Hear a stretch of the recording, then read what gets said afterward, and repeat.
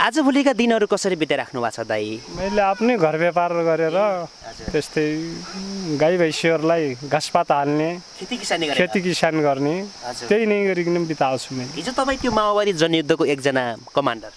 हजुर। कुन तहसम्म रहेर काम गर्नुभयो? म सुरुमा त अब प्लाटन सदस्य हुँदै। सेक्सन कमान्डर अनि प्लाटन कमान्डर कम्पनी सहायक कमान्डर र कम्पनी कमान्डर हुँदै बटालियन कमान्डरसम्म पुग्यो जब लास्ट म क्याम्प अवकाशमा निकल्ने बेला मैले ब्रिगेड सहायक कमान्डर तहसम्म ब्रिगेड सहायक कमान्डर? हजुर। जसले हजारौँजना सेनाहरूको कमान्डिङ गर्नुहुन्थ्यो। हजुर हजुर। हजारौँजना हुन्थ्यो। आज म थोरै तपाईँको विगततिर फर्किन चाहेँ तपाईँ त्यो माओवादीको जनयुद्धमा कसरी सहभागी हुनुभएको थियो दाइ? थोरै सम्झाउनुहोस् त आफ्नो विगतलाई। मैले विगतमा सम्झिने हो भनेपछि यहाँको राज्य सत्ताको शोषण दमन पुलिसहरूको अन्य अत्याचार र गाउँमा माओवादी होस् भन्दै कोहीलाई तारिक लगाने कोहीलाई त्यस्तै गर्ने बेला अब त्यो नगर्दा नगर्दै पनि अब माओवादी भनिसकेपछि पुलिसहरूले अनि त्यहाँदेखि म माओवादी सेनामा जोइन भएको हुँ। तपाईँ कार्यक्षेत्रको हिसाबले कुन कुन जिल्लाहरूमा घुम्नु भएको छ? म यहाँ आफ्नो रुकुम जिल्ला भइगयो रोल्पा अनि डोल्पा सल्यान जाजरकोट कालीकोट अनि अछाम अनि बाँके बर्दिया कैलाली कञ्चनपुरसम्म यता पश्चिमको यता पुग्यो। यताको हाम्रो उता भन्यो भनेपछि बागलुङ म्याग्दी। भएको? हजुर गोर्खा। र यता पाल्पा यिनी यिनी जिल्लाहरूमा छ। हजुर। अनि तपाईँ त्यो जनयुद्धकालीन एकजना घाइते पनि हो हजुर। म घाइते डोल्पाको सदरमुकाम दुनैमा। डोल्पाको दुनियाँ आक्रमण जहाँ चाहिँ तपाईँले आफ्नो शरीरको रगत बगाउनु भएको छ क्रान्तिको निम्ति भनेर व्यवस्था बदल्नको निम्ति भनेर समाज रूपान्तरण गर्ने भनेर रगत बगाउनु भयो। त्यो दिनलाई कसरी सम्झनुहुन्छ सर? त्यो डोल्पाको दुनियाँ आक्रमणको त्यो दिनलाई। त्यो साह्रै पीडादायक थियो। हामी अब त्यो बेला जङ्गलमा बस्ने त्यत्रो ठुलै हाम्रो सेनाहरू थियो। जङ्गलमा बसेर हामी त्यहाँ दुनै सदरमुकाम आक्रमण गर्न गएको हो। जङ्गलमा बस्थ्यौँ। कति खाने पनि- हामी त्यतिखेर ब्रिगेडको केही बाह्र तेह्र सयभन्दा बढी नै थियो हाम्रो। केही स्क्वाइटहरू पनि थिए केही प्लाटुनहरू पनि थिए केही ब्रिगेडहरू त्यहाँ संरचना बनिसकेको थियो कम्पनीको। र त्यति थियौँ हामीहरू। तपाईँ चाहिँ कस्तो अवस्थामा हो घाइते हुनुभयो? घाइते त्यो हामी जो त्यो प्रहरीको थियो त्यहीलाई उ गर्ने नजिकै हामी गइकन गेटमै म घाइते भएको हुँ। गेटमै। उताबाट दोहोरो भिरन्त भइरहेको थियो। उता उनीहरूले पनि चलाउने हामीले पनि चलाउने गोली। त्यतिखेर नै म घाइते भएको हुँ। त्यसपछि तपाईँलाई होस छ? त्य- त्यसपछि तपाईँ घाइते भइसकेपछि? होस थियो। मलाई होस थियो। फेरि अरू साथीहरूले हाम्रो कम्रेडहरूले तानेर ल्याउनु भयो तानेर अब फेरि जहाँ हाम्रो अस्पताल पनि थियो। त्यहाँ ल्याएर अब ड्रेसिङ सिसिङ गर्ने यताउता। काम गरिसकेपछि फेरि म लडाइँमा फिर्ता भएन। अरू मैले त फिर्ता हुने भन्ने गरेको थिएँ फेरि कमान्डरहरूले मान्नु भएन। तपाईँ घाइते हुनुहुन्छ फेरि पनि म ड्रेसिङ सिसिङ गरेर फेरि पनि म मोर्चामा जान्छु भन्ने उ गरेको थिएँ मैले। घाइते हुँदा पनि? घाइते हुँदा पनि। त्यस्तो जोस हुन्थ्यो है? हजुर हुन्थ्यो। साथीहरू ढल्थ्यो नि। तपाईँहरूको उपचार चाहिँ नेपालमै भयो? हजुर सानोतिनो उपचार त हाम्रै उमा हुन्थ्यो। हातखुट्टै अलिकत गरेका छन् गलेका छन् त्यस्तो उ छन्। त्यस्तालाई फेरि विदेशतिर इन्डियातिर र पार्टीले त्यस्तो व्यवस्था मिलाएको थियो। तपाईँको उपचारपछि फेरि पनि जनमुक्ति सेनामै जोडिनु भयो तपाईँ? हजुर म जनमुक्ति सेना लास्टसम्म म जनमुक्ति सेनामै रहेँ। के बाध्यता थियो कि रहर थियो सर? त्यो घाइते हुँदा पनि फेरि जनमुक्ति सेनामा आउनुपर्ने त्यस्तो बाध्यतै भनौँ यसको परिवर्तन गरिकन हाम्रो नेपाललाई अलिकत अन्य अत्याचारको विरुद्धमा कोही शोषण दमनमा नपरोन्। र एउटा यो राज्य सत्तालाई परिवर्तनै गर्नुपर्छ भन्ने नै त्यही नै थियो हाम्रो लक्ष्य अरू केही थिएन। हिजो तपाईँहरू जुन सपना बोकेर रगत बगाउनु भयो नि जुन व्यवस्था बदल्ने कल्पना गरेर तपाईँ आफू स्वयं पनि घाइते हुनु भएको छ सयौँजना आफ्नो सहयोगदार गुमाउनु भयो होला। आज ती सपनाहरू कहाँ पुगे सर? कतिको पुरा भयो ती सपनाहरू? जति हामीले आशा अपेक्षा गरेका थियौँ त्यति त पुग्न सकेन। थोडा बहुत फेरि पनि केही अहिले पहिलाको भन्दा अहिले केही परिवर्तन भएको जस्तो र केही अलि अन्य अत्याचारको पनि केही कमी भएको जस्तो महसुस हुन्छ। र अरू त यस्तै हो फेरि। र अब हामीले पनि एउटा यहाँसम्म ल्यायौँ नेपाललाई नयाँ नेपाललाई एउटा गणतन्त्र एउटा नेपाल स्थापना भन्ने उ गरिकन अब हाम्रो यो एक्लै नभएर समाजवादमा पुग्ने भन्ने लक्ष्य जो पार्टीले अध्यक्षले हाम्रो कमान्डरले प्रचण्डले जो ल्याउनु भएको थियो त्यो पुरा भएको छैन। हिजो तपाईँहरूले देखेका सपनाहरू अझै पुरा भएको छैन। छैन छैन। त्यो पुरा भएको छैन। तत्कालीन नेकपा माओवादीका नेताहरू शान्ति प्रक्रिया पछाडि चाहिँ बिग्रिए भन्ने छ। तपाईँ एउटा ब्रिगेड सह कमान्डर तपाईँलाई के लाग्छ? तपाईँका कमान्डरहरू आज सही बाटोमा आउनुहुन्छ? नै त्यो त हामीले मिडियाहरूले पनि अब गर्ने देख्ने हामीले गरेको राखेका छौँ सुन्ने पनि गर्छौँ।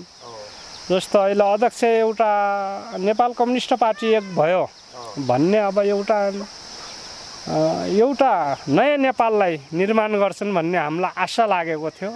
त्योमा फेरि अन्तर विरोधले गर्दाखेरि कलहले गर्दा फेरि दुई अध्यक्ष बिचको पनि अहिले मिडियाहरूले पनि दिएका छन्। प्रत्येक उसले दिएको छ अलिकति फेरि फुट्ला जस्तो जस्तो देखिन्छ। जसरी हामीले आशा गरेका थियौँ। जो कम्युनिस्टहरू एक भए पहिलाको एमाले र नेकपा माओवादी एउटा युद्ध हाकेको। पार्टी एक हुने बेला अहिले नेपाललाई एउटा अग्र दिशामा पुर्याउँछन् भन्ने हामीले जो आशा गरेका थियौँ त्यो आशा अलि फेरि हुन्न कि तुइने हो कि भन्ने? तुइने हो कि भन्ने हामीलाई शङ्का लागेको छ मलाई लाग्यो। तत्कालीन नेकपा माओवादीका नेताहरू पनि जस्तो मोहन वैद्य नेत्र विक्रम चन्द विप्लव बाबुराम भट्टराई लगायतका नेताहरू पनि विभाजनमा जानुभयो। यो पार्टी विभाजनलाई चाहिँ तपाईँ कसरी लिनुहुन्छ? यसलाई मैले बुझेको अनुसार आफ्नो स्वार्थको लागि कोही कुर्सीको लागि त्यो विभाजन भए हुनन् भन्ने लाग्छ। मलाई फेरि अर्को मलाई लाग्ने कुरा के छ भने जसरी मोहन वैद्यहरू विप्लवहरू जो नेपाल बाबुराम भट्टराईहरू जो प्रधानमन्त्री पनि हुनुभएको थियो उहाँहरू एक भएर अहिले नयाँ नेपालकोलाई नेपाल कम्युनिस्ट पार्टी जुटेर नै अगाडि बढ्दा केही नेपालले अलिकता अग्रगति लाग्थ्यो कि भन्ने मलाई त्यही आशा छ। सबै कम्युनिस्टहरू एक ठाउँमा आएर फेरि नेपाललाई एउटा गतिमा लानलाई सहयोग गरे हुन्थ्यो भन्ने लाग्छ तपाईँलाई? हजुर त्यही नै हो। मैले नेताहरूको रिक्वेस्ट पनि त्यही छ। उम्, जो मैले भन्छु हाम्रो कमान्डर प्रचण्ड। जसरी अब अहिले प्रधानमन्त्री पनि हुनुभएको छ केपी शर्मा ओली। र अरू मोहन वैद्यहरू विप्लवहरू पनि अर्को एउटा अहिले युद्ध सङ्घर्षमा उहाँहरू जानुभएको छ। जस्तै नेपालमा जति कम्युनिस्टहरू एकरूपतामा आएर अहिले नेपालकोलाई अझ गतिशील र गतिवान गराएर अगाडि लग्ने कम्युनिस्टहरू मिलेपछि सबै बन्छ भन्ने मलाई लाग्छ र द्वन्द्वबाट देशलाई अगाडि बढाउन सकिन्न भन्ने मलाई लागेको कुरा त्यही नै हो। सर तपाईँसँगको सहयोद्धाहरू सहकर्मीहरू तपाईँका समकक्षीहरू कति धेरै माननीय भइसक्नु भएको छ? कोही त सांसद भइसक्नु भएको छ गाउँपालिकाको अध्यक्षमा जानु भएको छ कोही पार्टीको उच्च तहमा पुग्नु भएको छ। तपाईँ अहिले हामीले भेट्दै गर्दा खेती किसानीमै व्यस्त हुनुहुन्छ गाई बाख्रा पाल्नु भएको छ यो खोलामा बस्दै हुनुहुन्छ। कहिलेकाहीँ आफूलाई अत्यार लाग्छ सर यो सबै दृश्यहरू हेर्दाखेरि? त्यस्तो त हामीलाई मैले भन्नुपर्दा एउटा हामी सँगै कमान्डर भएकै पहिलाका उहरू कमान्डरहरू अहिले भनौँ भनेपछि नन्दकिशोर पुन पासाङ राष्ट्रपति हुनुहुन्छ। र अर्को जनार्दन शर्मा पनि अब कयौँ बार मन्त्रीमा बसिसक्नुभयो। त्यस्तै गर्दा अहिले जाजरकोटको शक्ति बस्नेत पनि अहिले मन्त्रीमा हुनुहुन्छ। रोल्पाको अब वर्षमान पुन र अरू पनि धेरै धेरै हाम्रो कमान्डर अग्रज कमान्डरहरू त आफ्नो मन्त्री पदमा बस्नु भएको छ। उहाँहरूले आफ्नो उ गर्नु भएको छ। त्यो गर्ने बेला अब परिवर्तनको लागि गरेका नेताहरूले अब उहाँ माथि आफ्नोमा पुगिसकेपछि भुल्छन् कि भन्ने मलाई लागिरहेछ। आफ्नो जो हामीले नेतृत्वले कहिलेकाहीँ यो शहीद परिवार घाइते अपाङ्ग र पूर्व जनमुक्ति सेनालाई भुलेर अगाडि बढ्ने हो कि भन्ने शङ्का लाग्छ तपाईँलाई? शङ्का त्यही नै हो। तर त अहिले देशैभरि हाम्रो कोही घाइते आपाङ्गाहरू कोहीले आफ्नो शरीर गुमाएका छन् कोहीको आँखा छैनन्। कोहीको हात छैन कोहीको खुट्टो छैन र कोही यस्तै आ, यतातहरू अब यिनलाई त्यहाँ सरकारमा पुगिसकेपछि तिनलाई केही व्यवस्थापन आफ्नो कम्युनिस्ट सरकार बनेको बेला तिनलाई व्यवस्थापन गर्ने त्यस्तो गरिदिएपछि राम्रो हुने थियो भन्ने आशा नै हो र तपाईँ एकजना ब्रिगेड सह कमान्डर तपाईँले कहिलेकाहीँ हिजोका आफ्नो तल्लो तहमा रहेर काम गर्ने कार्यकर्ताहरू जनमुक्ति सेनाका सिपाहीहरूलाई भेट्नुहुन्छ आज पनि। हाम्रो नजिकमा रहनेहरूसित भेटघाट हुन्छ। अहिले कोही त्यस्ता सदस्यहरू पनि कोही रोटी र रोजगारको लागि विदेशियाका पनि छन्। उनीसित धेरैजना अब विदेशमा छन्। उनीसित भेट हुने कुरा हुन्न। फर्किया भने मार्दै कोही सम्झ्यो हाम्रो कमान्डर पनि हुन् भनिकन भेट्न आयो भनेर चाहिँ भेटघाट हुन्छ र गाउँ नजिकका त साथीहरूसित भेट हुन्छ। कहिले कहिले नजिकका शहीद परिवारहरूलाई भेटिन्छ। तपाईँ एकजना कमान्डर के छ उहाँहरूको गुनासो चाहिँ? गुनासो अब हाम्रो सोचेका थियौँ हाम्रो बच्चाहरूले एउटा देशको लागि आफ्नो जीवन बलिदान गरे। त्यो भएन भन्ने अब अलिकता त्यस्तो गुनासाहरू शहीद परिवारहरूबाट आन्छन्। जुन सपना बोकेर हाम्रो आफन्तीहरूले रगत बगाए त्यो सपना पुरा भएन भन्ने गुनासो भएन हो त्यस्तै गुनासोहरू आन्छन्। उनलाई त अब पीडा छ नि त। एउटा परिवर्तनको लागि आफ्नो उसलाई छोराछोरीहरू हजारौँले गुमाइसके त बलिदान गरिसके। त्यो हुने बेला अब शहीद परिवारहरूको पीडा आफ्नो ठाउँमा छ। उनले पनि कहिले गर्ने बेला आँसु बगाउँछन् अब के गर्ने? हामीलाई पनि त्यस्तो हुन्छ अनुभूति हुन्छ। तपाईँ एकजना ब्रिगेड सह कमान्डर कहिलेकाहीँ ती कमान्डरहरूसँग भेटघाट हुन्छ? जो हिजो तपाईँहरूसँगै लड्नुभयो आज माननीय हुनुहुन्छ। तपाईँको फोन उठ्छ कि उठ्दैन तपाईँले फोन गर्दाखेरि? फोन गर्ने बेला कतिपय त अब माननीय भइसकेपछि उहाँहरू आफ्नो विजेता विजेता हुन्छ होला। तर भए पनि कोका फोन हुन् भनेर त्यति उठ्ने सायक त्यो उसो त छैन। फोनै पनि हुँदैन फेरि गर्ने पनि गरिन्न आफ्नो काम होला भन्ने वन्डरहरू अरे मन्त्रीहरूलाई। र एकपटक म यहाँको प्रभाकर जनार्दन शर्मासित उहाँ भेटघाट भएको थियो। म पनि उपचारकै क्रममा काठमाडौँ गएको थिएँ। र एकपटक फेरि त्यो बाबुराम भट्टराई प्रधानमन्त्री हुनुहुन्थ्यो। उहाँ हुने बेला अब हाम हाम्रो पनि त्यहाँ कार्यक्रममा काठमाडौँ गएका थियौँ त्यो भेटघाटै नै त्यही शीतल निवासमा बोलाएर उहाँसित भेटघाट प्रत्यक्ष भएको हो। अहिले पनि तपाईँले चाहिँ प्रधानमन्त्री। अहिले उपचार गर्ने र अहिले आर्थिक अवस्था पनि त्यस्तो खासै उ छैन पहिला- हजुर शरीरमा मेरो हातमा दुईवटा छन् खुट्टामा दुई तिनवटा छन्। छर्राहरू? छर्राहरू छातीमा छ। धेरै छन् छर्राहरू अझै पनि। उपचार यहाँ- उपचार गर्ने बेलामा उतिखेरै नै बिरे हस्पिटलमा गएको हुँ। त्यतिखेर डाक्टरहरूले यिनी मैले सब त्यो एक्सरे गरिकन त्यो छर्राहरू पनि सब देखाए डाक्टरले। त्यो हातको गर्ने भन्ने बेला यिनको डाक्टरले के भनिदियो भने यो कहिले नसा काटियो भने बाई चानस तपाईँ झन् अपाङ्ग हुन सक्नुहुन्छ। नसा काटिने सक्छन्। त्योभन्दा यसले केही उ गर्दैन नगर्दा हुन्छ भनेदेखि डाक्टरले भनिसकेपछि म फर्केँ हो हिजो तपाईँ त्यो माओवादी जनयुद्धभित्रको दर्जनौँ लडाइँहरूको कमान्डर यो हालतमा हुनुहुन्छ भने सामान्य सिपाहीको अवस्था के छ होला है सर? बाहिरको कुरा होइन। हजुर उनीहरूको त झन् अब। दैनीय होला नि कोही कतै छन्। सहायक कमान्डर जसले एउटा ब्रिगेड सम्हाल्नुहुन्थ्यो। मैले पहिला त अब मोर्चा नै लडाइँको मोर्चा नै सम्हालिकन हिँड्नु पर्थ्यो होइन? लडाइँ।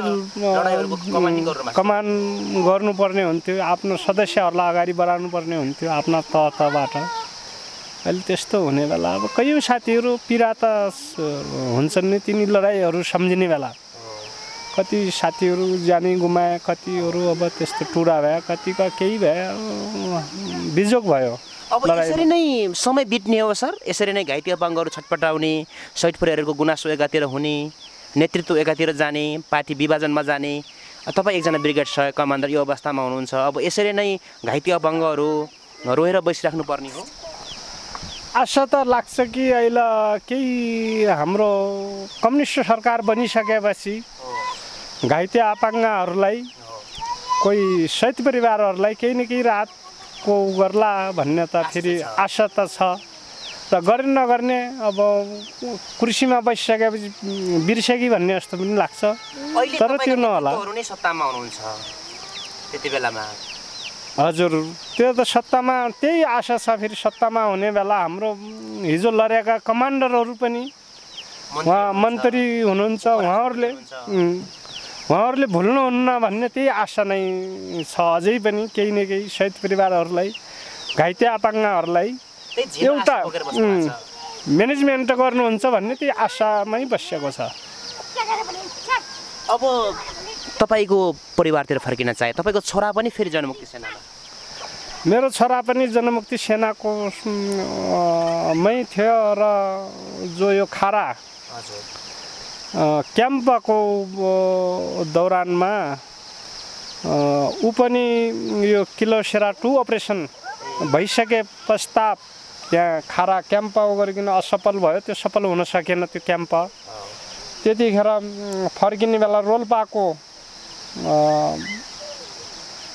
यो हान्निङ भन्ने ठाउँमा मेरो छोरो पनि घाइते भएको छ। त्यो हेलिकप्टरबाट हान्डिङमा हान्निङ कोट गाउँ भनौँ ऊ कोट गाउँमा अब पनि घाइते भएको छ उसको घाइते भएको छ फ्र्याक्चर छ उसको खुट्टा सर त्यतिखेर बाध्यता हुन्थ्यो एकजना कमान्डरले आफ्नो छोराछोरी पनि युद्धमा लानलाई बाध्य त परिवर्तनको लागि सबै इष्टमित्र दाइ भाइ लाग्नुपर्छ भन्ने नै हाम्रो सबै ऊ हुन्थ्यो पुलिस सेनाहरूलाई पनि फिर्ता आउनुपर्छ भन्ने कैयौँले हाम्रोले पुलिस सेनाहरूलाई पनि हाम्रो राज्य सत्ता सत्ता हाम्रो लडाइँ हो। पुलिसहरूले कोही पुलिस सेनाहरू पनि फर्किनुपर्छ भन्ने हाम्रो पार्टीले योजना पनि ल्याएको थियो। हामीले आफ्नो साथ समकक्ष कोही इष्टमित्र छन् भने पनि त्यस्ता मान्छेलाई हामीले सन्देश पुर्याउने यताउता पनि गर्थ्यौँ। हामीले लडाइँ खासै पुलिस र सेना सत्ता हाम्रो होइन राज्य सत्ता सत्ता हो। तपाईँहरू फर्किनुपर्छ लडाइँमा अब। तपाईँहरू पनि आफ्नो बालबच्चा गुमाउन सक्नुहुन्छ। अब अन्य अत्याचारको विरुद्धमा हामी एउटा कि मर्ने कि हामी एउटा देश परिवर्तन गर्छौँ भनिकन हामी हिँड्ने कोही सेना पुलिसहरूलाई पनि हामीले पार्टीले एउटा आह्वान गरेको थियो। त्यतिखेर कोही फर्किने र जागिरी सोरिकिने पनि आउनुभयो। कोही नआएर पनि कोही कोही कतिपयको ज्यान पनि गुम्यो उतैतिर पनि त्यस्तो पनि कति वर्षको हुनुहुन्थ्यो तपाईँको छोरा चाहिँ? जति बेलामा तपाईँले युद्धमा लगेर जानुभयो? त्यतिखेर छोरो अठार उन्नाइस वर्षको। बुवा छोरासँगै एउटै मोर्चामा पनि पर्नुभयो? लडाइँमा लडाइँमा पर्थ्यौँ हामीहरू। उनका आफ्नो आफ्नो फर्मेसन हुन्थ्यो आफ्नो आफ्नो हुन्थ्यो। कोहीले अब एलएमजी जिपिएमजीको उमा हिँड्थ्यो भने कोहीले अब अग्र मोर्चामा सट हतियारबाट जो थ्री नट एसएलआरहरू स्न्यापर र हतियारहरू पनि नयाँ नयाँ आएको थिए। यिनीहरूबाट नै अगाडि जानेहरू अगाडि नत्र त लङ हतियारवालाहरू अलिक पछाडि हुन्थे तिनीहरू। तपाईँ चाहिँ एकजना कमान्डर तपाईँ कमान्डर चाहिँ नि- यो मोर्चाको बेलामा अग्रपन्थीमा गएर लड्नु पर्थ्यो? अग्रमा लग्नु पर्थ्यो आफ्नो एसाल्टमै? एसाल्टमा लग्नु पर्थ्यो सदस्यहरूलाई। आफ्नो आफ्नो तहको ग्रुप कमान्डरहरू हुन्थ्यो र कमान्डरहरूले। आफू पनि लड्नु पर्थ्यो नि? लडाइँमा कमान्डर पनि लड्नु पर्थ्यो यसरी यहाँबाट हान यहाँबाट कासन पनि दिनु पर्थ्यो कोही आइसक्यो भनेपछि त हान्नु पनि पर्थ्यो। हामीसित सट हतियारहरू हुन्थे। माउजर पिस्तुलहरू भए। त्यति बेलामा तपाईँको लागि एकजना कमान्डरको लागि अङ्गरक्षकहरू पनि हुन्थे? हुन्थे अङ्गरक्षी पनि दिन्थे। गार्डहरू स्टाफहरू दिएको थियो पार्टीले। त्यो बेला सेनाको उसलाई दिएको हुन्थ्यो। तपाईँहरू त्यो जनमुक्ति सेनामा रहँदाखेरि बुवा छोरा एउटै फर्मेसनमा रहनुभयो? एउटै कम्पनी कम्पनी हुन्थ्यो गएर एउटै फर्मेसन नहुँदा पनि अब एउटा अब एउटा उमा प्लाटनमा तिनवटा सेक्सन हुन्थ्यो। अब तिनवटा प्लाटुन मिलेपछि कहीँ अब त्यो अलि बढी भयो भने चारवटा प्लाटनको एउटा कम्पनी बन्थ्यो। तिन कम्पनीको एउटा बटालियन बन्थ्यो भने फेरि तिनै बटालियनको फेरि एउटा ब्रिगेड बन्न जान्थ्यो। त्यसरी गर्ने बेला त्यस्तै अब फर्मेसनमा कम्पनीमा प्लाटुन अब बटालिन अ, त्यस्तो हुने बेला फरक फरक पनि पर्न सकिन्थ्यो।